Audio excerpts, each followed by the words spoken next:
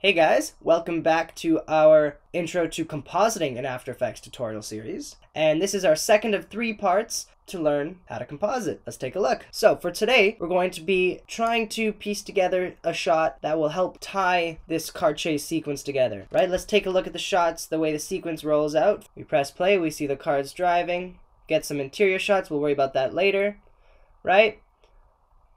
But if we go to here, we see this driving shot and then this window shot right? These are the two shots we're going to be focusing on today. As you can see, it's snowing in this shot, right? Lots going on, but we cut to this shot and there's no snow, right? Not a lot of dynamic movement and it becomes a little bit confusing to see if they're in the same place or not. So what we're going to do is we're going to add some snow and we're going to add the gun effects, the muzzle flashes to add a little bit of a cool Hollywood stylized look. Should be pretty simple. So let's head on into After Effects and check it out. Okay, now, once you've opened After Effects, let's create a new project, and we're going to import our footage. Let's do it the long way this time. Import, File, let's go to our desktop and find where your footage is. The stuff you've downloaded for the last tutorial. Now let's go to our second one, Intro to Assets. We're going to take the clip, right? We double open, we've imported the clip, right? Shooting out the window, and it's imported. Now, while we're in After Effects, if we double click it open, we can now view the shot into this new window and this viewing or clip monitor opens up and we can take a look and this is our whole clip, right? It's a little bit longer. Of course, we want to trim it down a bit, especially because in the beginning we can see a lot over his shoulder and we can see the trees and you know that we're not actually moving and we're just sitting in the driveway. But let's take a look at what's the clip that we're going to be replacing it with. The final should look like this. Pretty cool, right? We're adding the snow, we're adding the VFX assets of the muzzle flashes and should be pretty cool. Let's start. So, we're going to bring our clip, drag it like we did last time, create a new composition. Now, an important thing I did mention last time, but I want you all to keep being aware of is make sure you are knowing which window you have selected so that you know what you're doing and where you're doing it. First things first, let's do what we did last time. Let's trim it, and we want to trim it to um, one second in. So we can do this, let's go 24 frames in. We're at the one second mark, drag it in. Second time at the 21 second mark. The keyboard shortcut we learned last time, Command Shift D. Delete that top part. Let's now, there's a keyboard shortcut, right, to removing the space. If we click B, it does the top end. If we click N, it does the bottom end. Command Shift X, boom, our timeline is now just this part of the clip. And you know, it looks pretty cool uh, but it's missing the assets, missing the effects. The biggest thing I want to introduce to you guys today are assets. Assets are a big part of visual effects and compositing because they really help tie stuff together and tie these visual elements that we add later to make shots better. Like if we want to add a dinosaur into a shot, if we add some dust, we add some smoke, that can help make it look a little more realistic. So we're going to go into our Intro to Assets folder, and you can see here I have included an Assets folder we open that, we have a bunch of Blizzard stuff, right? We have snow assets, which will work perfectly, and we have muzzle flashes, which we can't really open because .mov files have some sort of weird thing with Apple. But we're going to take all of our assets, we're going to bring it into After Effects and import it. Cool. Now, from here, I always like to add all my assets into a bin. So I click it, them all, I drag and drop with them all selected, and boom, title this folder assets. So every single uh, asset that I'm doing will be brought in. All right, let's focus on the muzzle flashes first now that we have our assets imported. If we click on an asset, right, we double click it, we can view it, right, in the footage monitor. That's what it's called, footage monitor, sorry. Now from here, this one's pretty cool. I like this one, right? We get the flash, we get the smoke, and that should be pretty cool. Let's drag it into our composition. We can drag it to the timeline or we can drag it right onto the clip. And let's find the moment where he shoots. And that seems about right. Boom, here, before he starts lifting. Another important thing that will probably help is to use the keyboard, uh, the keyboard shortcut to go frame by frame. You hold Command and you click the arrow keys to go frame by frame. So if we're going frame by frame, we're going through, this one's the shot, the frame before he starts lifting the gun. Let's pull this back so it starts then. Okay, now from here, the way we can move stuff, right, because we need to be able to move it, we can click right on the file and move it like this, right? Right in the composition. If we take a look at this, this is how we can transform it um, manually, which can be very helpful. If we see, we got these, these little squares here. This shows us the dimensions of the file. If we select this clip as well, we can move it too. You can see the box shows us the dimensions of this video clip. Should be pretty simple. Now, this little thing in the middle here is the anchor point. And basically, any transformation that we do will happen around this center point. Sometimes if you need to, it's important to move that anchor point, right? And we can do that by grabbing the pan behind tool or the anchor point tool, either clicking up here or we click the Y key. And this allows us to move this anchor point and we can shift it right into the middle of the effect. And now when we move it, it moves around there. We can do three types of transformations. Uh, we can translate its position, we can rotate it, or we can scale it. We're translating it by moving it, or we can use the rotate tool, which is clicking up here by clicking W. See? We select it and we can rotate it however we want. Cool. We're going to scale it. We can scale it by clicking one of these corners and see it changes now the dimensions and the size. If we hold shift, that makes it hold, and like as you can see, as we said before, everything, whoop, everything happens around, whoop, selected both, sorry, everything happens around the anchor point. Now we're going to scale it up. Muzzle flashes should be about the size of the person's head. So we're going to put it like that, put it there, scale it up to there, holding the shift key. Maybe we'll squeeze it a little bit so it looks a little bit more three-dimensional. Place it right on the barrel, and boom. Play it. Looks okay.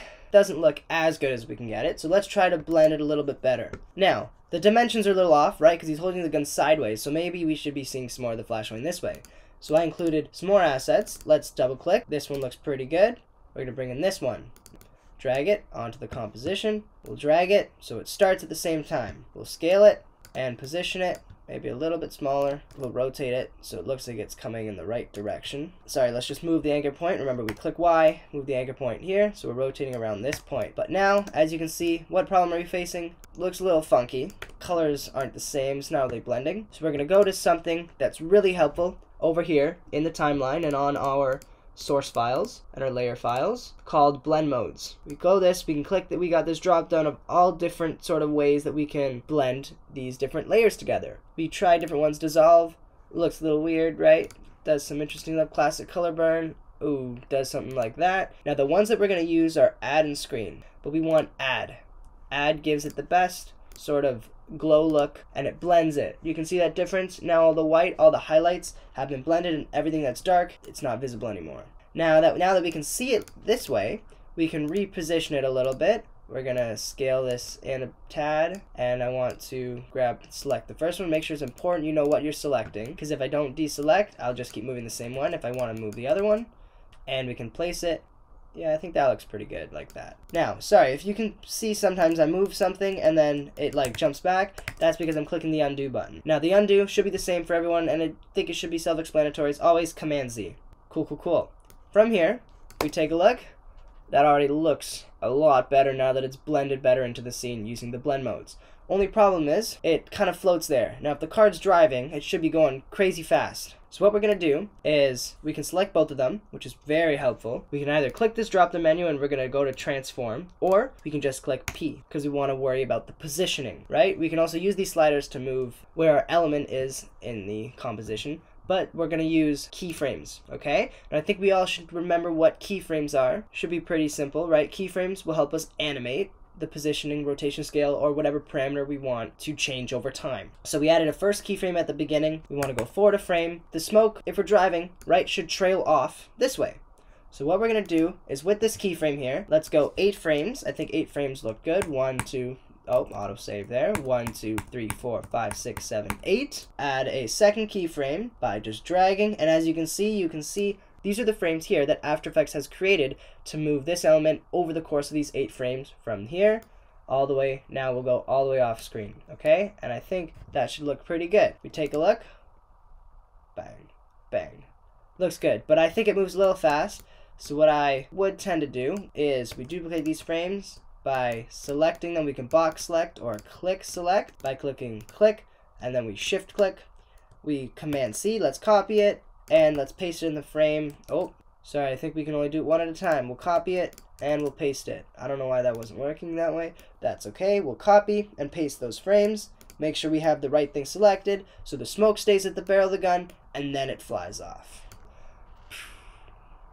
And that looks Pretty cool. Only problem, it looks a little stiff. So let's just add some motion blur. Let's click down here. We go to toggle switches. Close this. We don't need, oops, I clicked the wrong tool. I got the hand tool open by clicking H accidentally, um, but we don't need that. The hand tool helps us move the screen without moving anything, um, but we don't necessarily need that right now. Let's just reset. Speaking of reset, this tab here really helps you, comes in handy, right? We scroll, we can make it bigger and smaller, and if we want to zoom in, we can, and we click it, can fit up to 200. This one's a nice one, fit, because it fits whatever size screen you have. You can go through, just remember that that's there. Back to motion blur, right? So it looks a little less stiff. We grab this little icon here, which is the motion blur, and we click it and click it. Now as you can see, it blurs it. Bang, bang. You can do this muzzle flash effect on anywhere else that seems fit. I'm going to leave one for now, but if you want to play with it, he shoots a few times. It's kind of like an automatic rifle, so that should be should be open for um, interpretation there. Now let's quickly get the snow in. Now, I think close snow 5 is the one we want to go with. Yep, looks good. We're going to select it. We're going to drag it into the composition. Now, I don't necessarily like doing that because as you can see, you can place it anywhere. So that's why I like dragging it here into the timeline so that it's symmetrical and placed perfectly. But oh no, why is it a black screen? You may be asking. Well, that's because this specific file, this specific asset, gives us this snow element, but it's on a black screen. A lot of the time this may be a pain, but it is actually pretty simple and actually will help it blend better into the scene. First, let's just drag this. Let's select it so that we have the snow starting earlier, right? We don't want there to be no snow at the beginning. Let's go to the scale and we want it to be about there, maybe 73%. Now, we want to flip it. Now we can do this manually by selecting one edge and pulling it across like this, or we can do it down here by turning off this tool and typing negative 73 in the x-axis and locking it again, and now it's flipped. Go in the opposite direction. If I don't click this, we undo, undo, if I don't click this and I click negative 73, uh, it flips everything, and now the snow is going upwards. Little bit of a problem. That's why we want to uncheck the lock parameters there snow is falling in the correct direction. Now how do we get rid of the black background? This is where we use blend modes again. We can go to blend mode and we want to do screen this time. And now as we can see, already looks pretty cool. And now we have our final shot. And of course you can go in and add more muzzle flashes if you would like, but for the sake of the tutorial, we'll leave it at that. If um, you want to do something a little bit more advanced, right, we can see back in Premiere Pro that the clip doesn't necessarily match perfectly because the cameras were a little bit different, right? Different time of day. It's a little bluer here, and it's very solid, like even colors there, very black. So what we can do, we can select our base layer, we go to the effects and presets window, and let's search Lumetri. Lumetri is the same thing that's in Premiere Pro. Now up here to the effects controls window, we go to the basic correction, we turn the temperature down a tad. Let's just go negative 20 should look good. Maybe even negative 25, right? If we toggle it with this little button here, on and off, it kind of pulls everything together a little bit more. We have a nice shot here. Make sure from here we can save. So let's go Command S. We want to title this one. Again, bring it so it's with the footage in the Lesson 2 Intro to Assets folder. And we want to title it 2022 underscore 3.2 Intro to Assets and save. Saving is very important. From here, you can export the final shot. I hope you learned something new. Just a quick recap, right? Today we learned about assets and how assets are a very simple way of creating more complex and more cool shots. It can help us tie different elements together, not just in a single shot, but for example, in the whole sequence, it can tie the first shot to the second shot. We also learned about blend modes. We learned about the transform tools, which we can either affect down here, right? We got anchor point, position, scale, rotation, and opacity, which opacity is it's its visibility. We learned about keyframes. If we click the P button, that opens this, and how they can help us animate different elements in a, in a composition. And we learned about a little bit of color correction and how sometimes color correction is the last step to combining um, elements of a shot. Alright, I hope you learned something in this tutorial, and I will see you in the next one.